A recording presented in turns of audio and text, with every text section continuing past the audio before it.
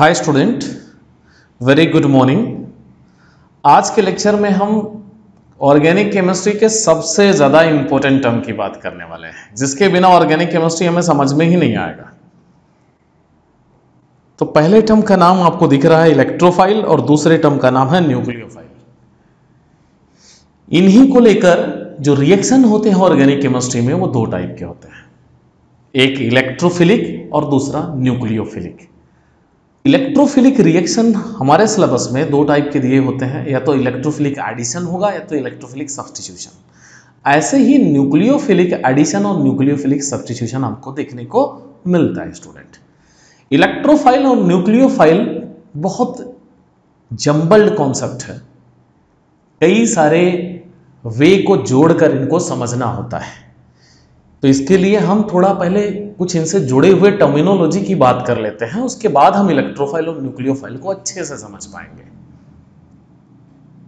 तो पहला जो टर्म है student bond fission bond fission इसलिए मैं आपको बता रहा हूँ क्योंकि इलेक्ट्रोफाइल और न्यूक्लियोफाइल का कॉन्सेप्ट यहाँ से भी आता है।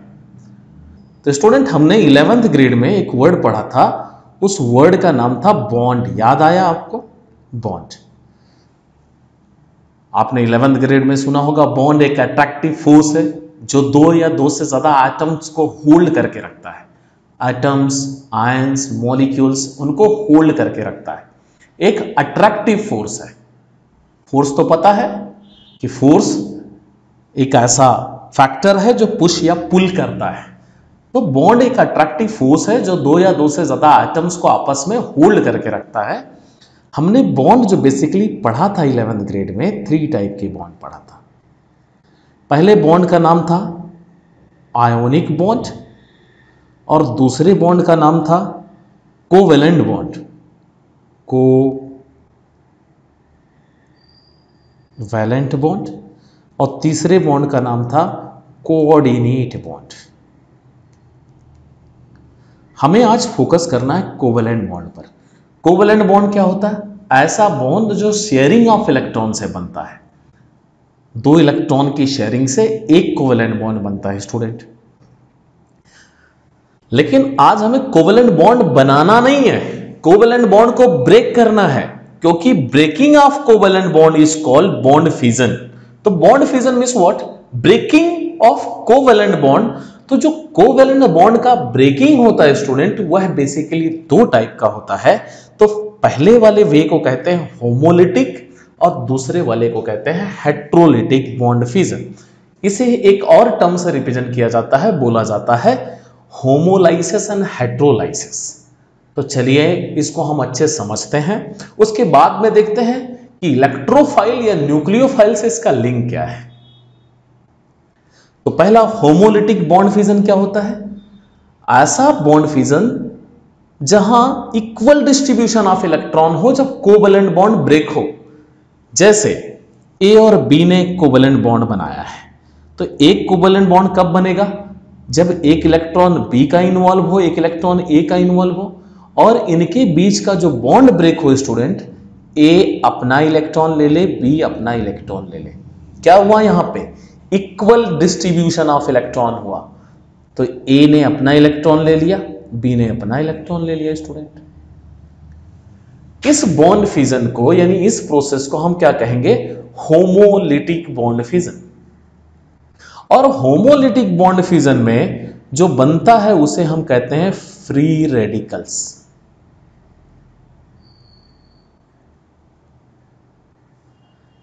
अब यहाँ एक एग्जांपल लेते हैं सीएल बॉन्ड सीएल आपने ऐसा कुछ तो सुना होगा सीएल टू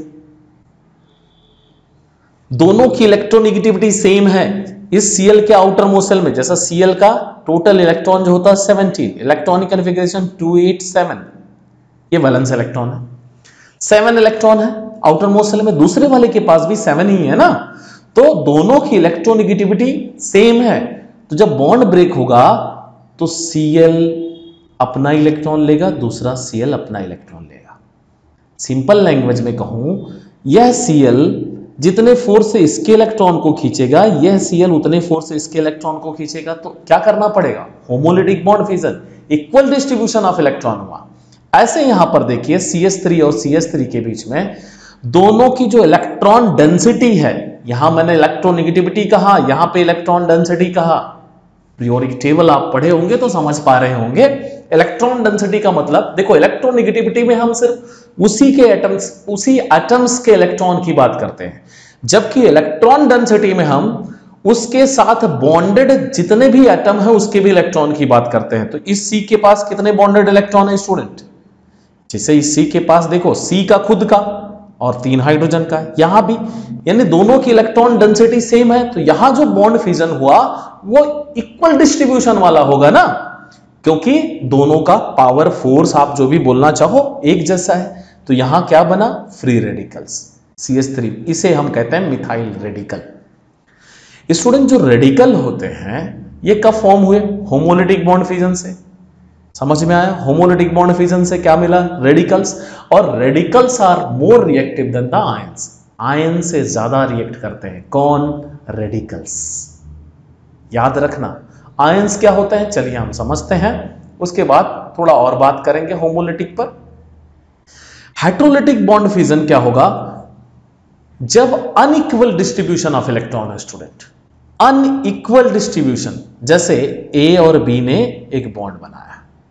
तो बॉन्ड में तो एक इलेक्ट्रॉन बी के इलेक्ट्रॉन दोनों इन्वॉल्व हैं।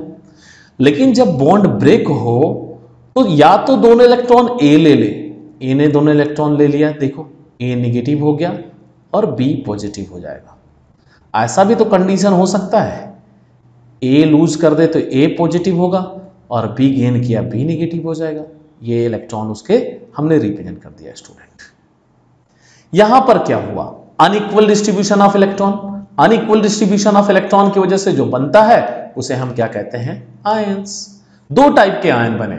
एक पॉजिटिव आयन है, जिसे हम केटायन कहते हैं, जो नेगेटिव आयन है, उसे हम एनायन कहते हैं।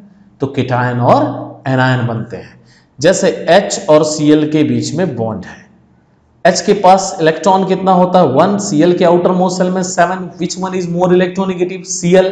तो Cl बॉन्ड के इलेक्ट्रॉन को अपने टूवर्ड ले लेगा। तो H पॉजिटिव हो जाएगा, Cl निगेटिव हो जाएगा। यहाँ पर कौन सा बॉन्ड फिजन हुआ? अनइक्वल डिस्ट्रीब्यूशन यानी हेट्रोलिटिक बॉन्ड फिजन हुआ। और क्या फाउंड हुआ? क्या हमको मिला?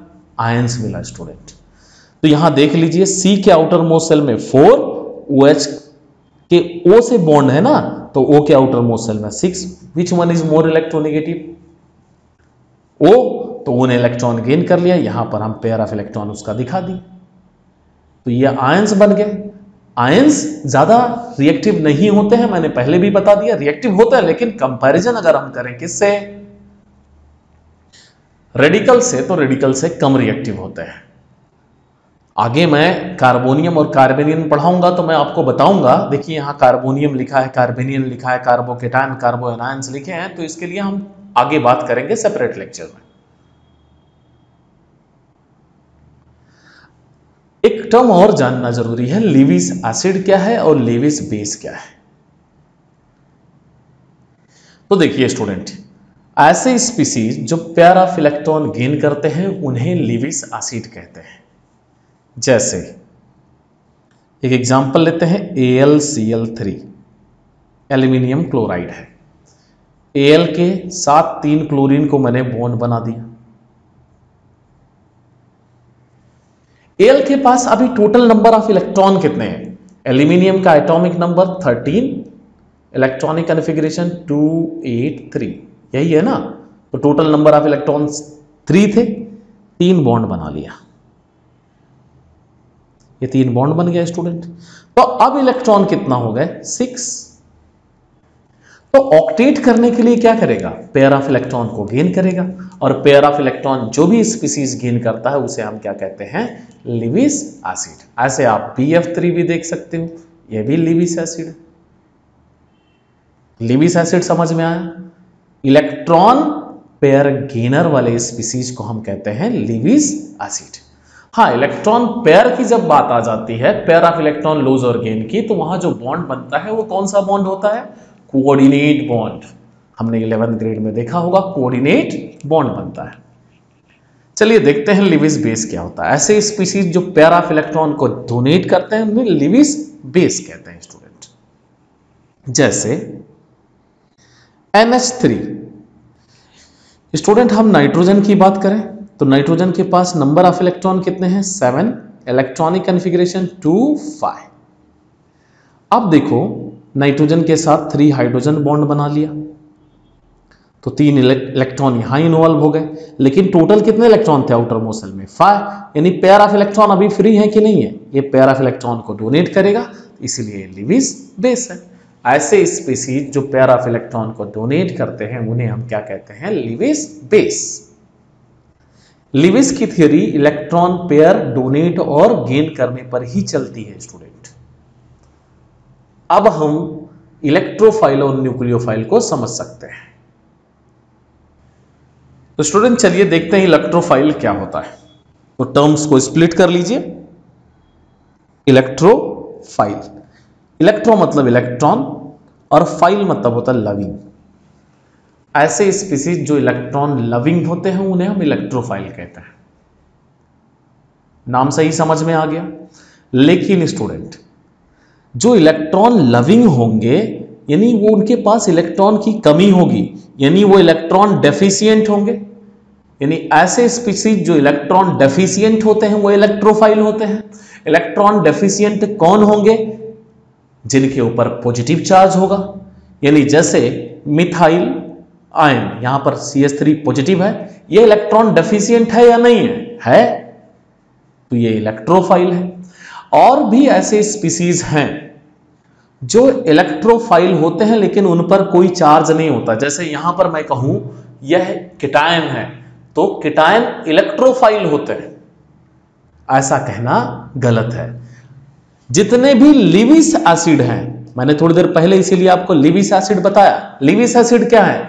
ऐसे स्पीसीज जो पेयर ऑफ़ इलेक्ट्रॉन गेन करते हैं। जैसे एग्जांपल हमने किसका लिया? AlCl3 AlCl3 पर कोई चार्ज है? नो AlCl3 एक न्यूट्रल स्पीसीज है। और यह पेयर ऑफ़ इलेक्ट्रॉन को गेन करता है, यानी लिविस एसिड है। तो जितने भी लिविस एसिड है वो भी इलेक्ट्रोफाइल होते हैं, इसलिए यहाँ पर लिखा है कि पॉजिटिवली चार्ज कोई हो तो भी इलेक्ट्रोफाइल होगा और न्यूट्रल स्पीसीज भी इलेक्ट्रोफाइल होते हैं स्टूडेंट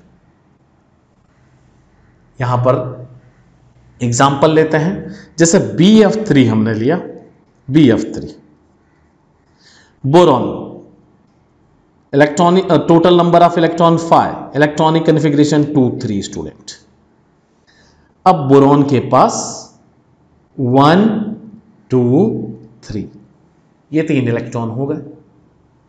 एफ़ है।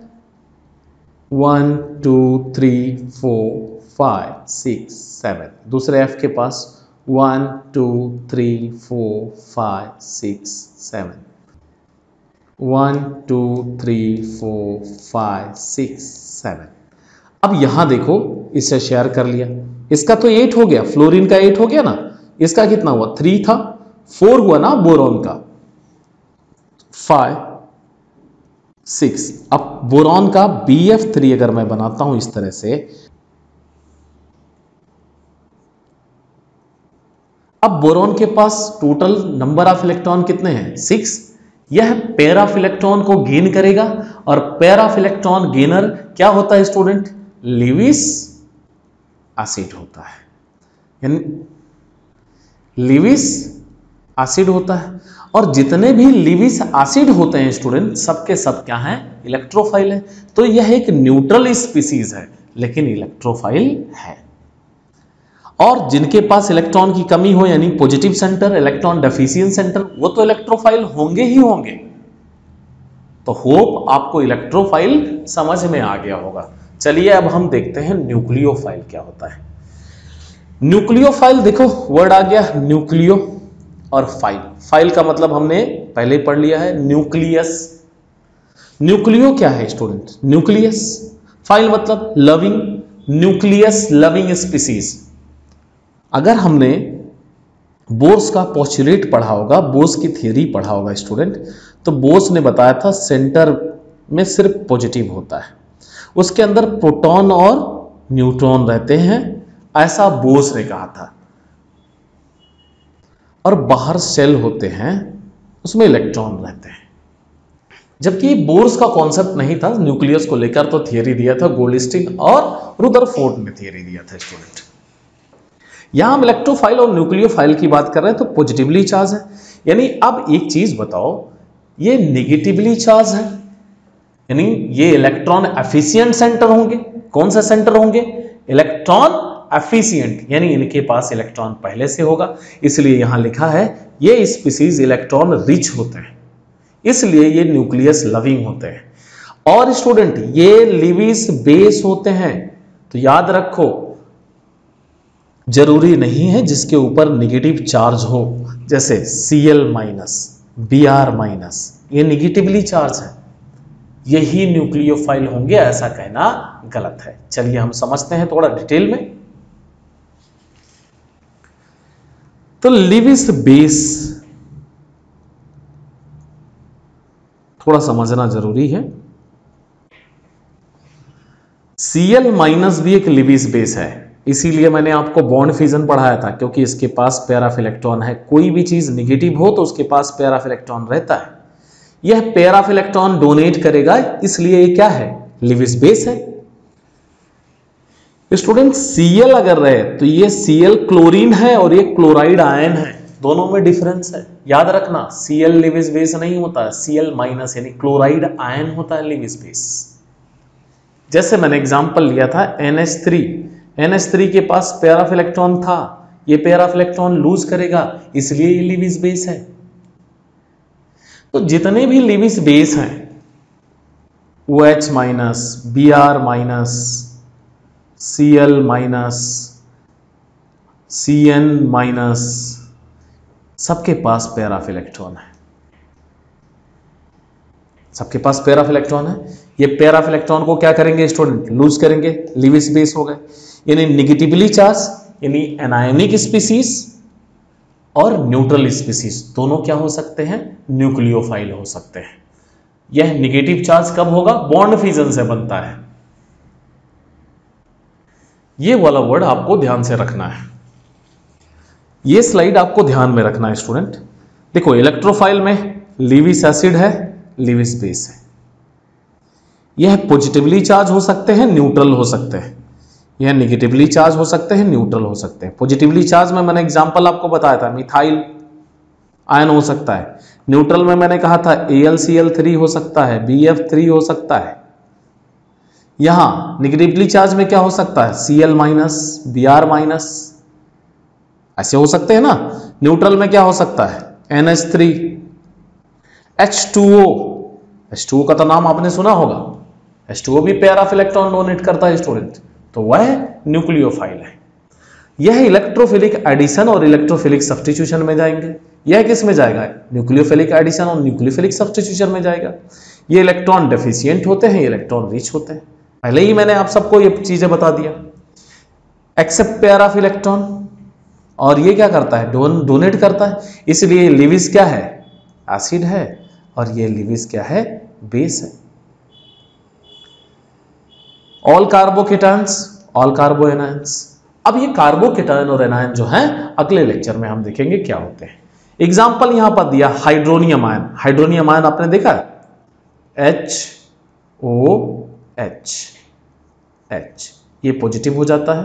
ये पेयर ऑफ़ इलेक्ट्रॉन गेन करेगा, इसलिए ये लिविस एसिड है और इलेक्ट्रोफाइल है। क्लोराइड आयन एग्जांपल दिया है, Cl माइनस ये पेयर ऑफ़ इलेक्ट्रॉन डोनेट करेगा। लिविस बेस है, और लिविस बेस होने के साथ साथ स्टूडेंट यह न्यूक्लियोफाइल है। अब एक चीज़ और याद रखना है आपको। Cl माइनस एक न्यूक्लियोफाइल है NH3 भी एक न्यूक्लियोफाइल है। दोनों में से कौन सा ज़्यादा रिएक्टिव होगा? तो स्टूडेंट कई सारे टर्म्स देखने होते हैं। सिंपल मैं आपको यहाँ बता दे रहा हूँ, Cl माइनस एनी हाउ इसको ये अपना निगेटिव चार्ज हटाने के लिए, इसको निगेटिव चार्ज हटाना है। ये pair of electron anyhow donate करेगा NH3 स्टेबल है, ये स्टेबल है। ये पेयर ऑफ़ इलेक्ट्रॉन ना दे तो भी ऑक्टेट है, इसको कोई प्रॉब्लम नहीं है। तो सबसे ज़्यादा रिएक्टिव कौन होगा? Cl माइनस अगर मैं H2O और NH3 दोनों को कंपेयर करूँ तो यहाँ पर ये जो बॉन्ड का लेंथ होता है H2O में देख लो, ये बॉन्ड लेंथ है बॉन्ड लेंथ और इनके पास जो पेयर ऑफ़ इलेक्ट्रॉन है H2O में दो पेयर है, और NH3 में एक पेयर है, इन चीज़ों पर भी डिपेंड करता है स्टूडेंट इनकी वजह से अट्रैक्शन और रिपल्सन कम और ज़्यादा होता है। इन पर भी डिपेंड करता है। तो इन बातों का भी आपको क्या करना है? ध्यान रखना है। वो हम जब नीट और जेई के लेक्चर्स की बात करेंगे, तब समझेंगे कि कैसे क्या होता है। तो थैंक यू स्टूडेंट मिलते हैं अगले लेक्चर में कार्बोकेटान और कार्बो एनायन के साथ।